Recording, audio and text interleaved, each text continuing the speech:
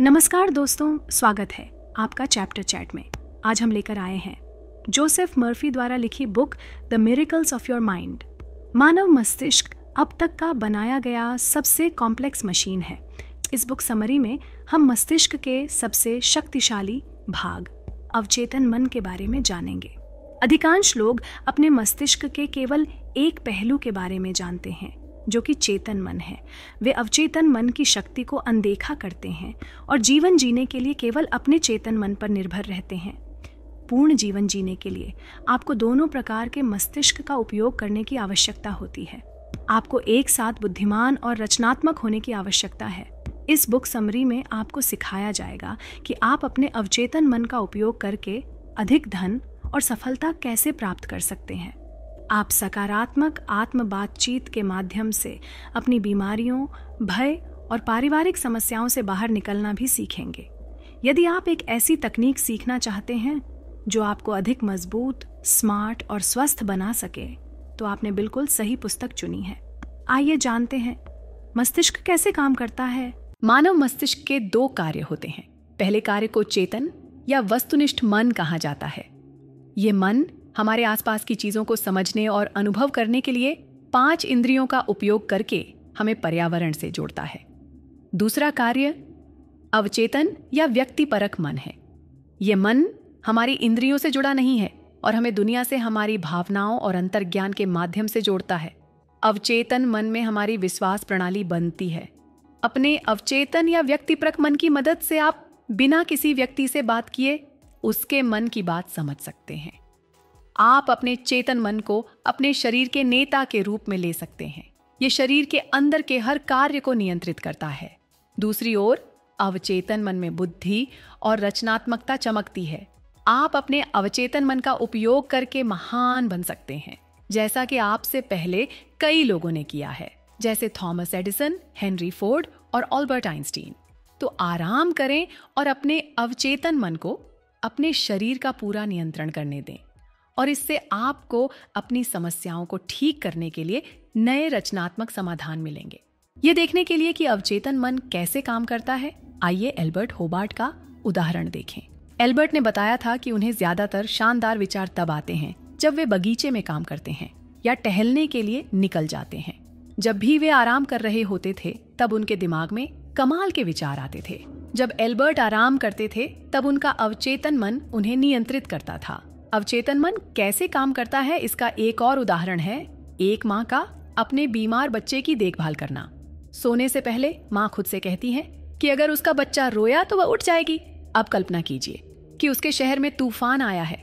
आंधी के तेज शोर की आवाज़ से भी उस औरत की नींद नहीं खुलती है, लेकिन जैसे ही उसके बच्चे ने रोना शुरू किया तो वह तुरंत जाग गई। ऐसा कैसे हुआ? क्योंकि उस माँ ने अपने अवचेतन मन को आदेश दिया था कि अगर उसका बच्चा रोए तो उसे तुरंत जगा देना है। ये उन अनगिनत चमत्कारों में से एक है, जो अवचेतन मन कर सकता है। आपका अवचेतन मन आपकी महाशक्ति है। अपने अवचेतन मन का अधिकतम उपयोग करना सीखने से आप महान परिणाम प्राप्त कर सकते हैं। हो सकता है कि आप कोई ऐसी चीज़ का आविष्कार कर दें, जिसकी वजह से आपका नाम भी इतिहास में हमेशा के लिए अमर हो जाए। अवचेतन मन और स्वास्थ्य। आपके अवचेतन मन में अद्भुत उपचार शक्तियाँ हैं। क्योंकि बीमारी सबसे पहले मन में ही शुरू होती है। इसीलिए आप यह सोचकर बेहतर महसूस कर सकते हैं कि आपका अवचेतन मन आपको ठीक कर रहा है। बस थोड़ा भरोसा रखें। अवचेतन मन सुझावों सजेस्टियन के माध्यम से आपको ठीक करता है। यदि आप बार बार यह कहते रहेंगे कि आप ठीक हैं तो आप ठीक हो जाएँगे। बार बार प्रार्थना करने से भी आपके विश्वास में मजबूती आती है। कुछ समय पहले लॉस एंजल्स में जॉन मैक्सवेल ने एक प्रयोग किया था। उन्होंने अपने कई रोगियों पर प्रार्थना चिकित्सा, प्रेयर, थेरेपी शुरू की और परिणाम चौंका देने वाले थे। उदाहरण के लिए एक रोगी जिसके पेट में अल्सर था, उसने बताया कि प्रार्थना चिकित्सा करने के बाद उसके पेट में दर्द होना बंद हो गया था। एक अन्य रोगी एक विश्वविद्यालय में प्रोफेसर था जो हकलाता था। उसने सालों तक विभिन्न प्रकार की दवाओं का प्रयोग किया था, लेकिन किसी ने भी काम नहीं किया था। फिर उसने ठीक होने के लिए प्रार्थना चिकित्सा का सहारा लिया और छह महीने बाद उसका हकलाना पूरी तरह से बंद हो गया। डॉक्टरों का कहना है कि प्रार्थना चिकित्सा न तो कोई धोखा है और न ही अंधविश्वास। प्रार्थना चिकित्सा एक वैज्ञानिक प्रक्रिया है जो हमारे अवचेतन मन को नियंत्रित करती है। ये डॉक्टर मानते हैं कि बीमारी को ठीक करने के लिए आपको अपने अवचेतन मन में मौजूद कारणों को ठीक करने की आवश्यकता है। यदि आप अपने शरीर के लक्षणों सिम्टम्स को ठीक करने में लगे रहेंगे तो ये केवल समय की बर्बादी होगी। डॉ. पार्कर के अनुसार, प्रार्थना चिकित्सा आपके शरीर को ठीक करने के लिए आपके अवचेतन मन को ठीक करती है। प्रेयर थेरेपी में रोगी को मानसिक व्यायाम मेंटल एक्सरसाइज दिए जाते हैं। प्रत्येक व्यक्ति को एक लिफाफा दिया जाता है, जिसमें उस बीमारी के बारे में लिखा होता है, जिसे ठीक करने की आवश्यकता होती है। फिर उन्हें हर रात सोने से पहले प्रार्थना करने के लिए कहा जाता है, ताकि उनकी बीमारी पूरी तरह से खत्म हो जाए। हफ्तों तक हर रात प्रार्थना करने के बाद रोगी एक साथ बैठते हैं और अपनी भावनाओं के बारे में बताते हैं। प्रार्थना को इस तरह इस्तेमाल करने से अवचेतन मन की शक्ति मज़बूत होती है और शरीर ठीक होने लगता है। अपने अवचेतन मन को समझाने के लिए उसे सरल आदेश दें। अपनी बीमारी के लक्षणों पर ध्यान देना बंद करें और इसके बजाय खुद से कहें कि जल्द ही सब कुछ ठीक हो जाएगा और ऐसा ही होगा। अवचेतन मन और शराब की लत। कुछ लोग शराब की लत में फंस जाते हैं। वे खुद को शराब पीने से रोक नहीं पाते हैं और जब भी वे इसकी कोशिश करते हैं तो ज़्यादातर हार जाते हैं। शराबियों का शराब न छोड़ पाने का सबसे बड़ा कारण है उनका खुद का विश्वास तंत्र, बिलीफ सिस्टम। वे ऐसा मानते हैं कि एक बार ड्रिंक उनके सामने आ गई तो खुद को नियंत्रित कर पाना उनके बस में नहीं है।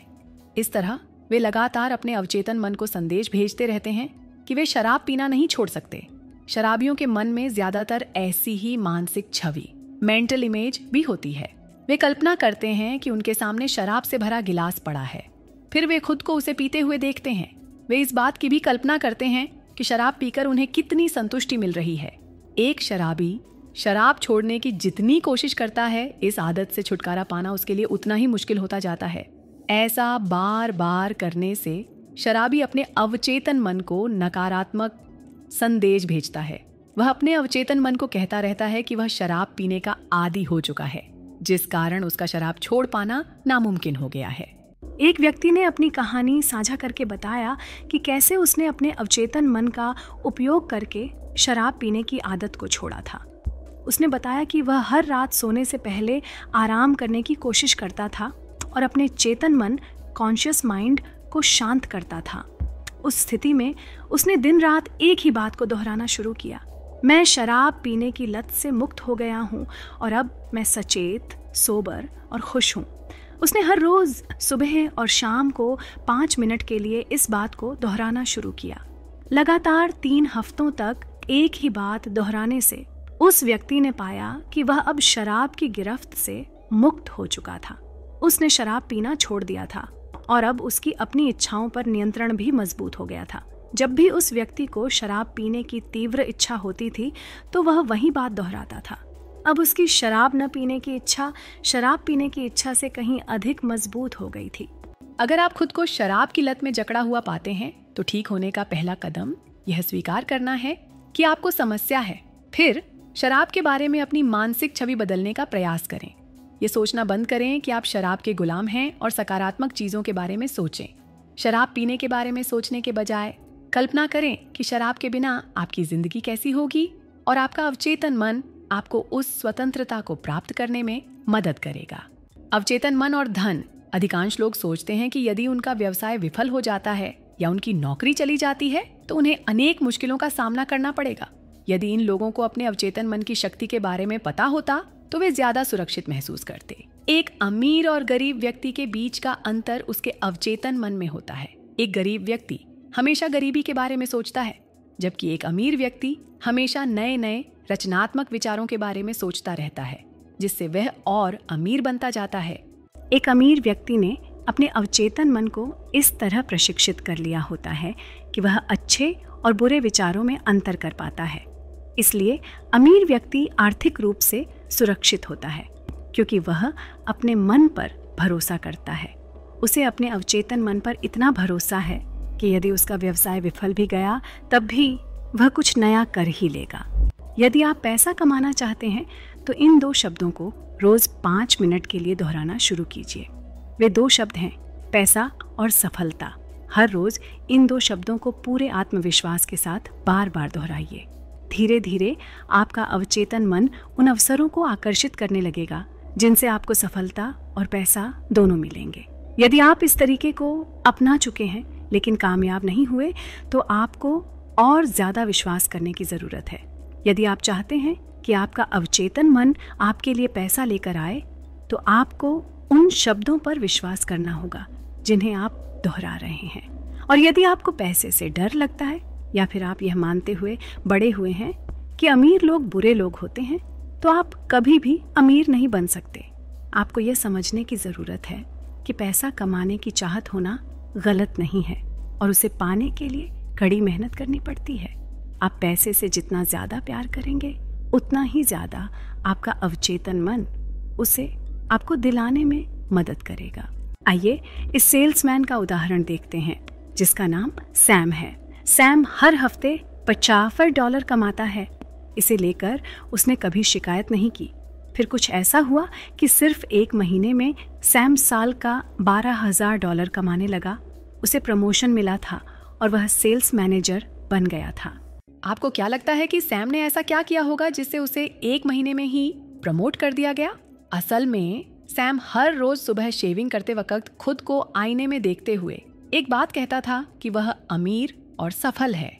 हफ्तों तक सैम ने पूरे आत्मविश्वास और विश्वास के साथ इसी बात को दोहराया। कुछ ही हफ्तों में 80 सेल्समैन में से सैम को प्रमोट करने के लिए चुना गया।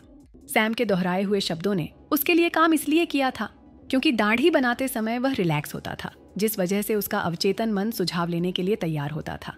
इसके अलावा, सैम को खुद पर भरोसा था और उसे पूरा यकीन था कि वह ज़रूर एक अमीर और सफल व्यक्ति बनेगा।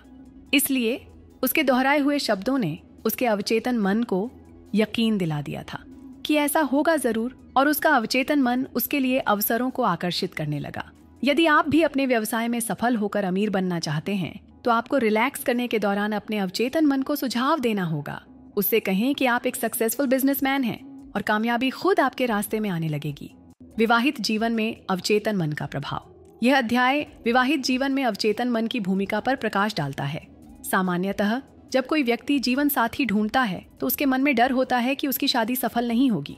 इसके बजाय, उसे उन अच्छे पहलुओं पर ध्यान देना चाहिए, जो उसे विवाह से प्राप्त होंगे और अपने अवचेतन मन को विश्वास दिलाना चाहिए। कि वह एक खुशहाल विवाहित जीवन जी सकता है।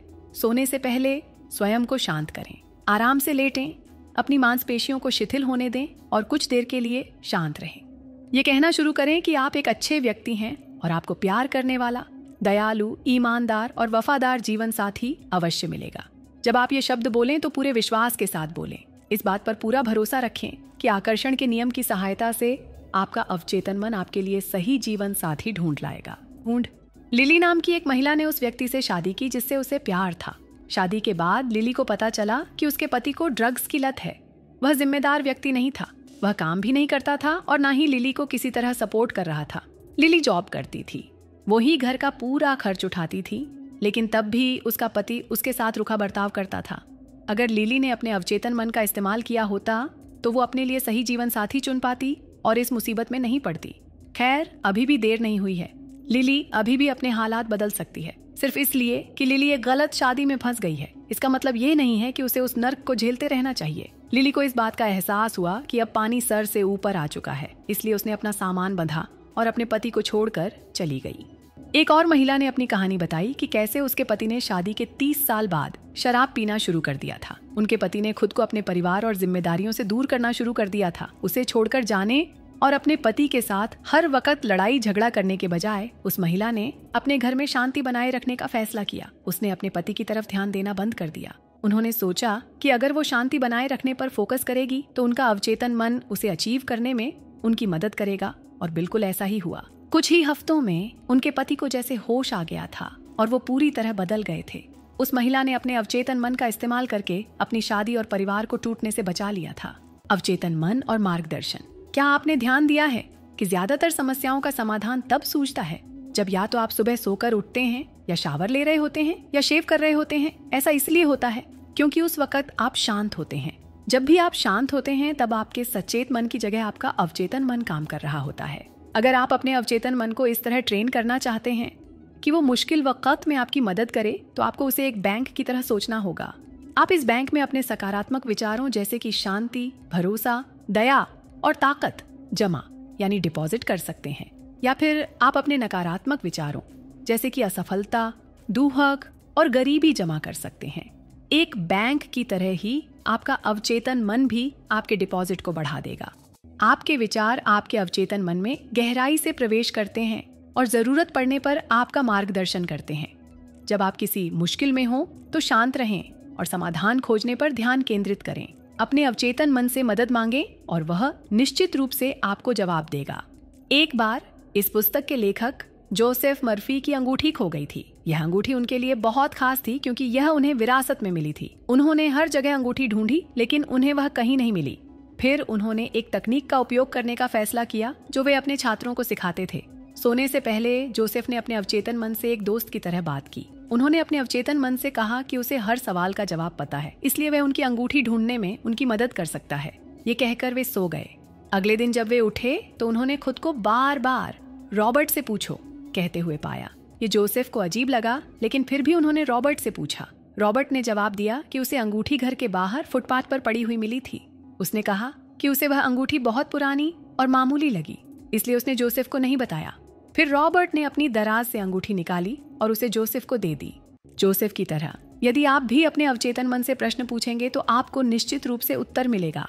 यदि आपका अवचेतन मन आपको तुरंत उत्तर नहीं देता है तो आपको धैर्य रखना होगा और अपने अवचेतन मन की शक्ति पर विश्वास करना होगा। डर से निपटने का तरीका, आपका सबसे बड़ा डर क्या है? क्या आपको सार्वजनिक बोलने, तैरने, ऊंचाई पर चढ़ने या किसी और चीज़ से डर लगता है? चाहे आप किसी भी चीज़ से डरते हो ये जान लें कि उसका कोई ना कोई समाधान ज़रूर है। यदि आप अपने अवचेतन मन को मज़बूत रहने के लिए कहेंगे तो आप मज़बूत बन जाएँगे। अपने डर से भागने के बजाय उसका सामना करें। अपने अवचेतन मन का उपयोग कैसे करें? यदि आप अपने अवचेतन मन का उपयोग करना चाहते हैं तो इस तकनीक का पालन करें। एक शांत जगह ढूंढें, जहाँ आप आराम कर सकें। अपने शरीर को कुर्सी पर डीला छोड़ दें और अपना सारा तनाव छोड़ दें। अपनी आँखें बंद करें, खुद को वह चीज़ करते हुए कल्पना करें, जिससे आपको डर लगता है। उसी काम को बार बार करते हुए 10 मिनट तक कल्पना करते रहें। इस अभ्यास को दिन में तीन बार करें और परिणाम देखकर आश्चर्यचकित हो जाएँ। एक युवा लड़की गायिका बनना चाहती थी। उसकी आवाज़ बहुत अच्छी थी, लेकिन फिर भी वह मंच पर जाने से डरती थी। उसने कई ऑडिशन भी दिए थे, लेकिन हर बार असफल हो गई थी। लोगों के सामने गाने के डर से उसका गाना बेसुरा हो जाता था। उस लड़की को विश्वास था कि अगर वह लोगों के बीच गाएगी तो निश्चित रूप से हार जाएगी। क्योंकि वह ऐसा सोचती थी, इसलिए उसके अवचेतन मन ने इसे सच बना दिया था। क्योंकि वह अपने अवचेतन मन को यह संकेत भेज रही थी कि वह असफल हो जाएगी, इसलिए वह सफल नहीं हो पा रही थी। उसने अपने डर को दूर करने के लिए इस तकनीक का उपयोग किया। वह दिन में तीन बार एक शांत जगह पर बैठने लगी। उसने अपनी आँखें बंद करके अपने शरीर को आराम दिया। उसने अपने मन को शांत रखने की कोशिश की और सकारात्मक बातें सोचना शुरू किया। उस शांति के क्षण में, उस लड़की ने अपने डर को कम करने की कोशिश की। उसने दस बार यह बात दोहराई कि उसकी आवाज़ बहुत सुरीली है और वह मंच पर शांत होकर अच्छा प्रदर्शन कर रही है। इस दिनचर्या का लगातार एक हफ़्ते तक पालन करने के बाद उस लड़की में ज़बरदस्त आत्मविश्वास आया। एक बार फिर वह ऑडिशन के लिए गई और इस बार सफल भी हुई। जब भी आपको किसी बात से डर लगे तो उससे भागे नहीं, बल्कि उसका डट कर मुकाबला करें। अपने अवचेतन मन से बात करने से आपको और मज़बूत और आत्मविश्वासी बनने की शक्ति मिलेगी। तो दोस्तों, अब हम आ गए हैं इस बुक के कंक्लूजन पर। सबकॉन्शियस माइंड मस्तिष्क का वह हिस्सा है, जो हमारी जागरूकता से परे काम करता है। ये सूचनाओं को स्वचालित रूप से याद रखने और उन्हें जोड़ने के लिए जिम्मेदार है।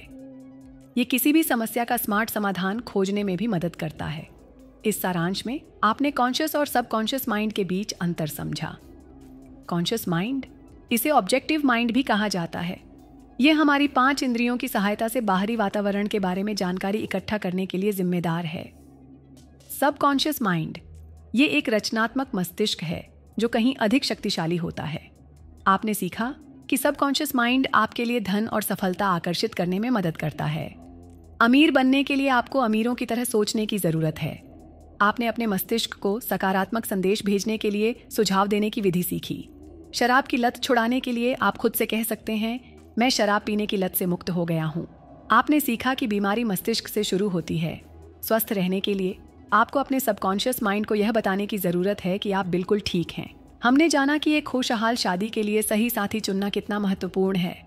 खुद पर भरोसा रखने और सकारात्मक आत्म बातचीत करने से सबकॉन्शियस माइंड आपके लिए सही साथी चुनने में मदद करता है। हमने जाना कि सबकॉन्शियस माइंड के पास समाधान का भंडार होता है। जब भी आप किसी मुश्किल में हो तो आप मद के लिए अपने सबकॉन्शियस माइंड पर निर्भर कर सकते हैं। अब जब आप जान चुके हैं कि सबकॉन्शियस माइंड कितना शक्तिशाली होता है तो आपको अधिक स्वस्थ, सफल और खुशहाल जीवन जीने से कोई नहीं रोक सकता।